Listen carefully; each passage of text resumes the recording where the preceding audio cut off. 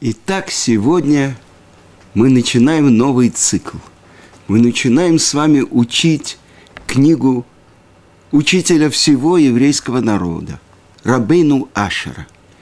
И на протяжении семи веков Рабейну э, Ашер Рош учит еврейскому закону весь еврейский народ. Мы не можем учить Вавилонский Талмуд без э, Тосфот Рош, без дополнения, объяснения Рабейну Ашера и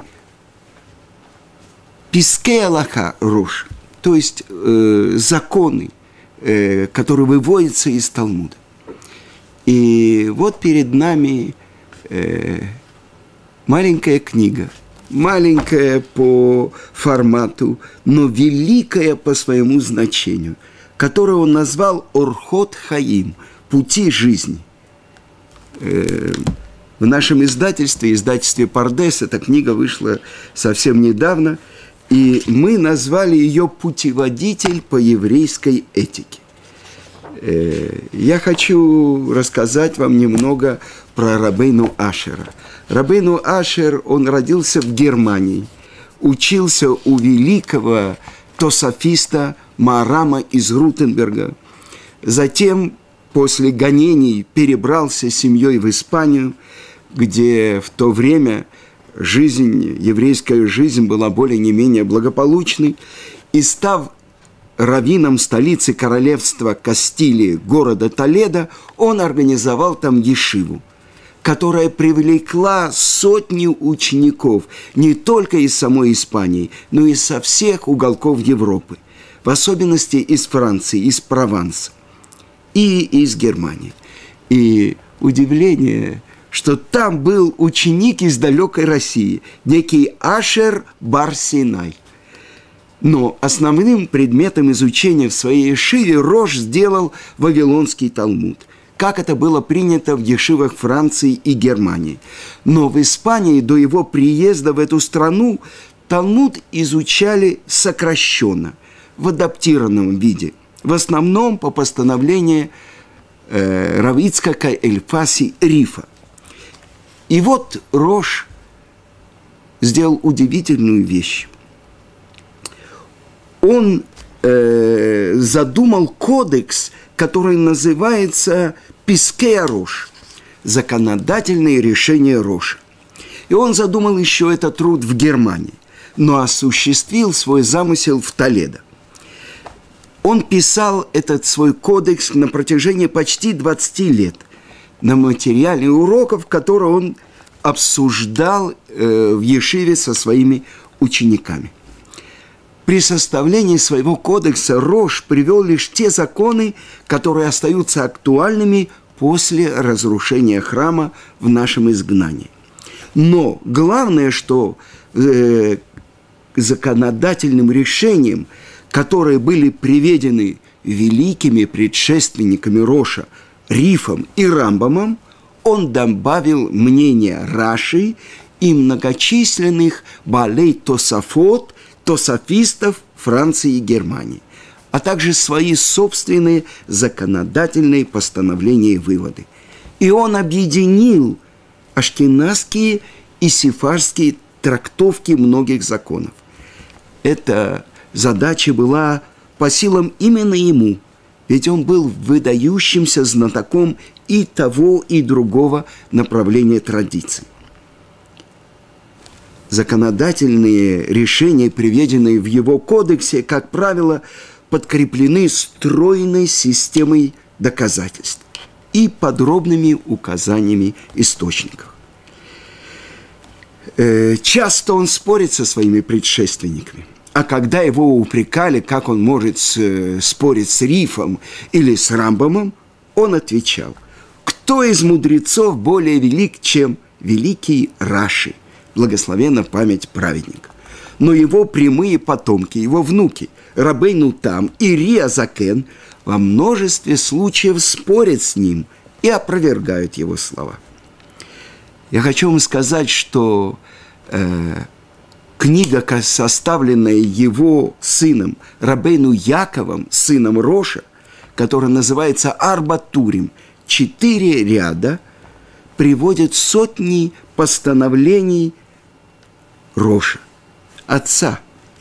Как правило, это установление и закон в соответствии с его выводом. Так постановил Рабейну Яков, которого называют Балатурим.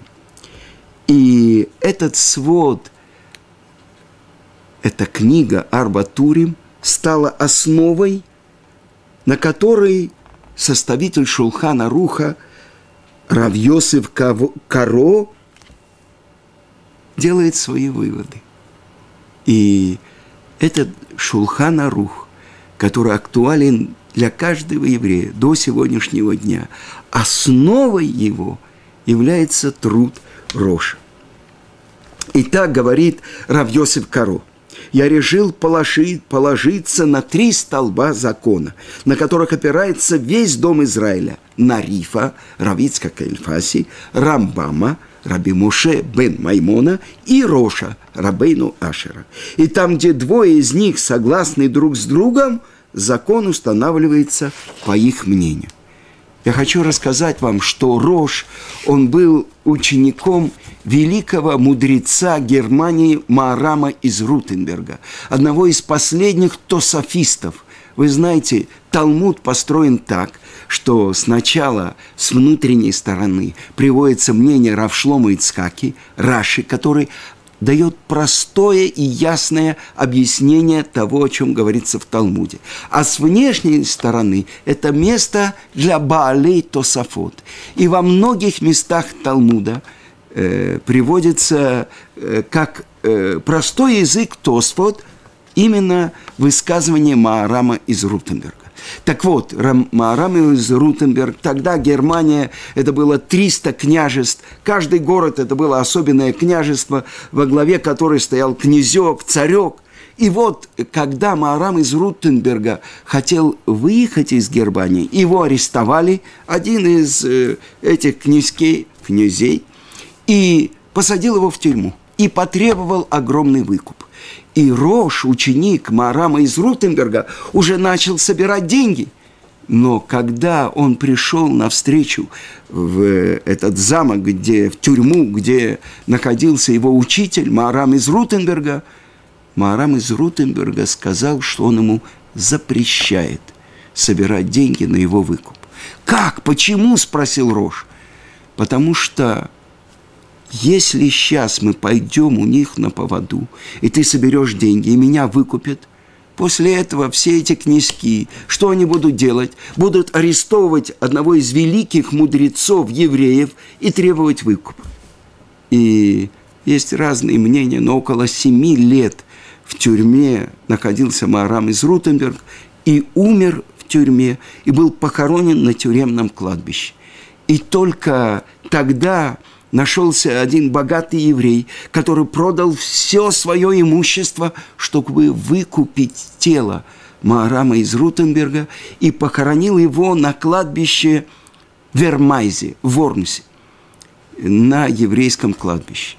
И то, что я слышал от своего учителя Равицка Казильбера, эту историю, он рассказал, что в ту же ночь, когда произошло перезахоронение – э, Марам из Рутенберга открылся этому еврею. Мне кажется, его звали Александр Дискин. И сказал ему, что у него есть выбор. Он ему очень благодарен за то, что он сделал для него, перезахоронив его. Э, для него это были большие страдания, что его тело лежит э, на нееврейском кладбище, среди неевреев. Э, так вот, он получил право открыться ему и предложил, я могу сделать так, попросить, что ты и все твои потомки будут баснословно богаты до прихода царя Машеха. Либо я могу попросить, чтобы ты оказался возле меня в духовном мире. И этот еврей во сне сказал, я хочу быть возле вас, учитель.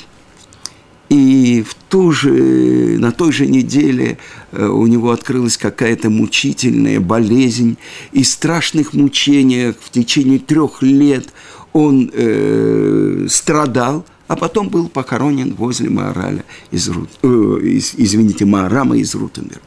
И Равыцка, когда рассказывал эту историю, он сказал, я бы выбрал второе. Мы спросили у него, как, деньги? Быть в духовном мире, возле величайшего мудреца еврейского народа, который там в тюрьме написал объяснение на самые тяжелые места Мишнайот в Седере Таарут, и который пожертвовал собой ради еврейского народа, ради мудрецов еврейского народа и деньги. И Равыцкак сказал, вы не понимаете. Деньгами можно сделать столько заповедей. Он посвятил свою жизнь тем, что он освобождал агунот, женщин, у которых не было развода, и заложил свою квартиру, и что он только не делал – чтобы спасти еврейский народ от мамзеров. Если женщина не получила гет и вышла замуж за другого, обычно так делали э, женщины, которые приезжали из бывшего Советского Союза, так вот, чтобы не было мамзеров, Равыцкак шел на самопожертвование. Но это отдельный разговор. Итак, эта книга, это энциклопедия Мусара. И Э, с чего же начинается эта книга? Если бы э, спросили нас, с чего надо начинать книгу про то, как человеку нужно исправлять свои дурные качества. А так как у нас наступил месяц Элюль, месяц особенного близости к Творцу, месяц, когда можно восстановить эту связь с Творцом – э, созвездие Бетула, э, девушка, девственница. То есть можно отбросить все наши нарушения, все наши грехи, которые мы делали в течение года, и восстановить эту живую связь с нашим Творцом. Так э, с чего бы мы начали? Как начинает это э, Рабейну Ашер – и я хочу вам сказать, что Равейну Ашер жил в 13 веке.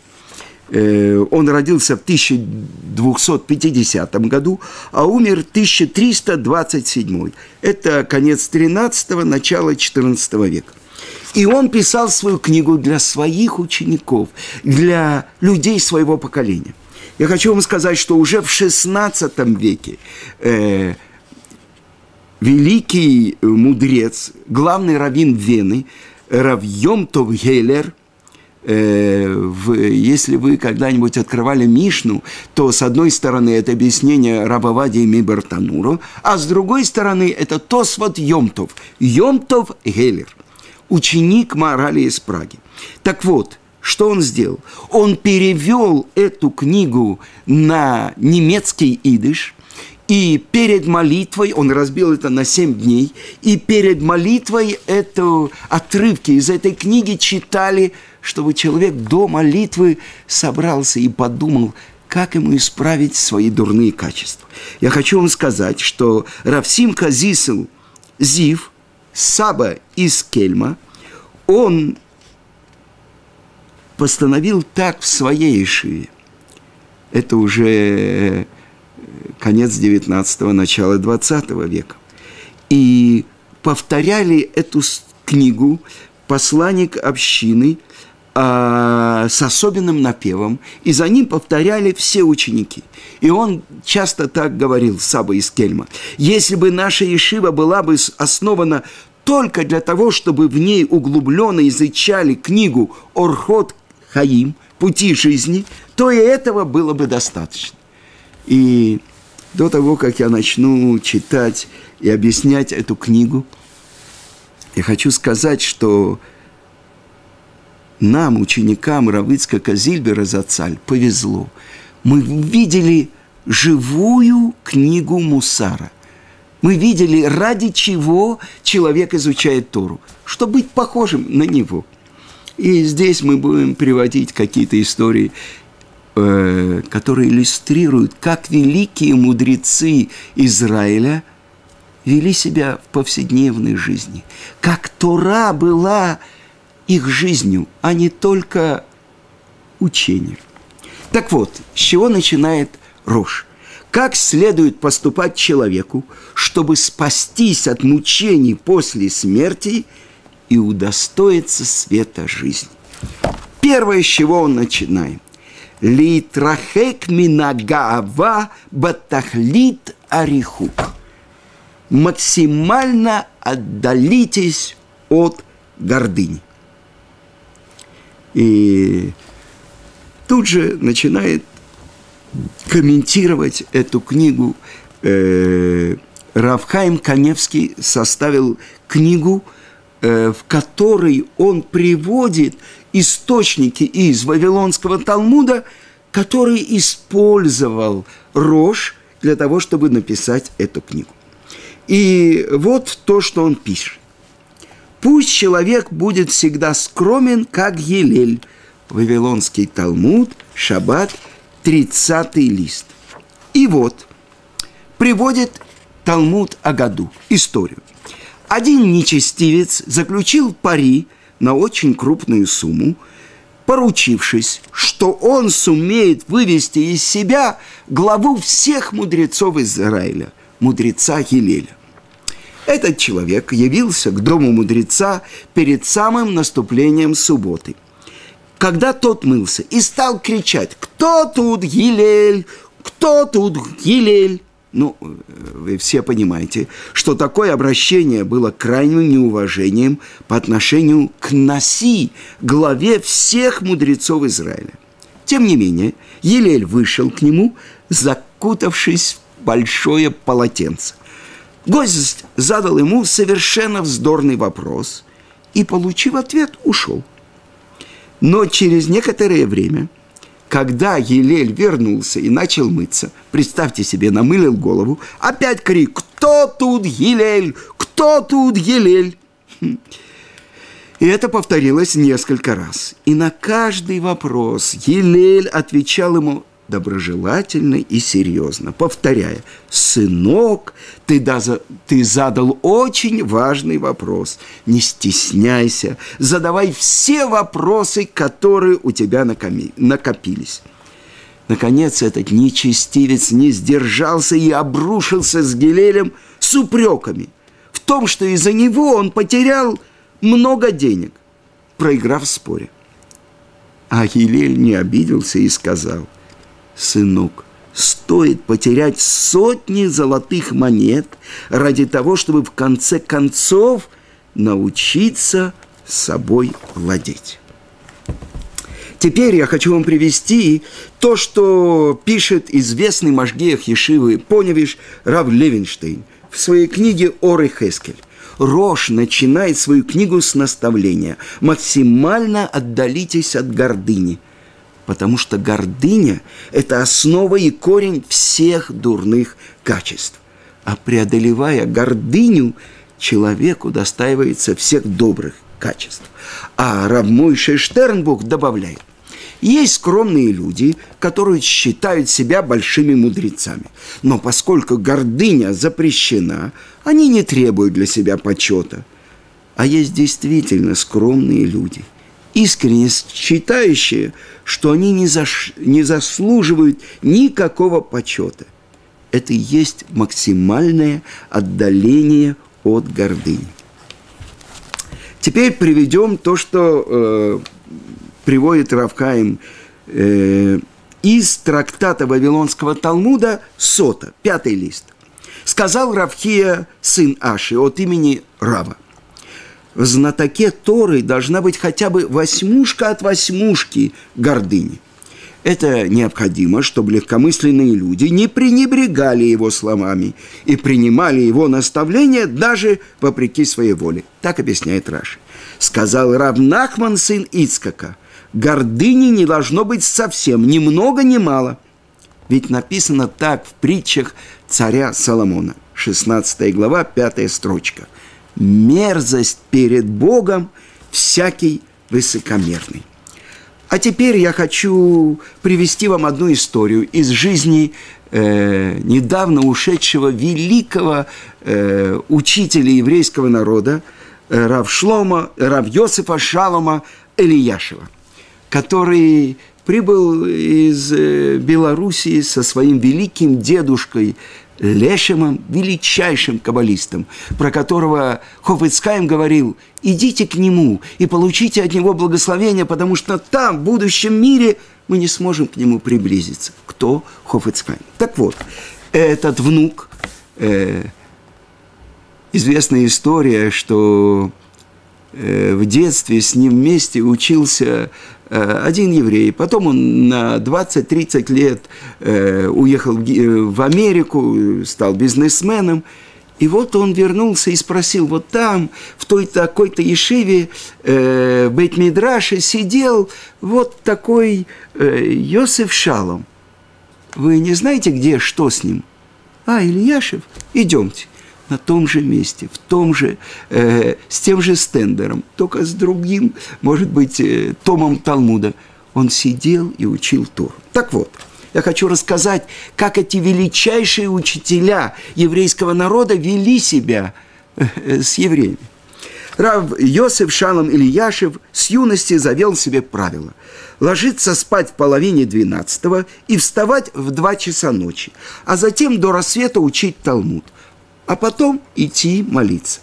Его домочадцы старались оберегать его сон, чтобы в это время его никто не беспокоил. Однажды, около часа ночи, э, в дверь квартиры раба Ильяшева постучали. Домочадцы проснулись, но дверь решили не открывать. Стук продолжился. Рав Ильяшев сам встал с кровати, омыл руки, оделся и открыл дверь. Несомненно, речь идет о спасении жизни, спросил он своего ночного посетителя. Да, да, да, у меня к вам вопрос жизни и смерти, подтвердил тот, входя в кабинет Равина. Ну, садитесь, пожалуйста, говорите. Успокоил его Рав Ильяшев. «У меня вопрос, как назвать сына?» Сказал ночной гость. «Какое имя вы посоветовали бы мне ему дать?» «Ну, наверное, у него есть споры с женой по поводу имени новорожденного. И тогда для него это действительно вопрос жизни и смерти, подумал Рав Ильяш. И задал встречный вопрос. Какие у вас варианты? Обсуждение заняло около получаса. И Рав Ильяшев вынес решение. Счастливый и довольный отец поблагодарил Равина – и Рав Ильяшев проводил его, а затем вернулся в свой кабинет, чтобы начать учебу. Спать он уже не пошел. Но через 15 минут вновь раздался стук в дверь. На пороге стоял все тот же еврей. Рав, извините, а если жена родит дочку, какое имя вы бы советовали бы дать ей? Ну, это меняет полностью дело – необходимо рассмотреть варианты, ответил Раф. Пожалуйста, проходите. И еще добрые полчаса Равин и его гость обсуждали подходящее имя для дочери. А теперь я не могу удержаться и не рассказать вам.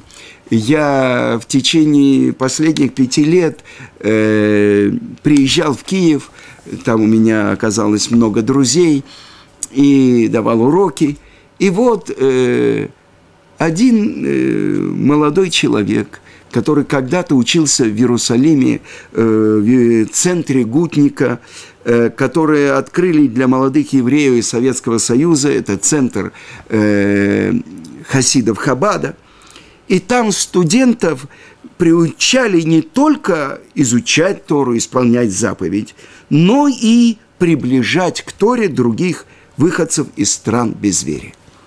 И это то, что рассказывал мне выпускник э, этого центра в Киеве.